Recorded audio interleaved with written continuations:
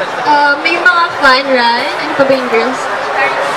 Trade show po, katulad din po nito, mga events, ganun po.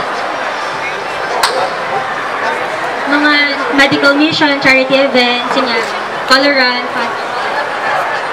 Ayun nga po, mga guestings po, um, car shows, ayun po, makikita niyo po, ano, Ayun po, um, meron din po, di ba, parang um, yung mga mga A plus paintings, di ba, gumagawa po sila ng mga videos, um, may parang comedy, kung comedy, gano'n, parang mga show nila. Um, may maabangan din po kayo sa aming apat na um, gagawa rin po kami ng mga videos na talagang pwedeng matatangkilikin ng mga tao.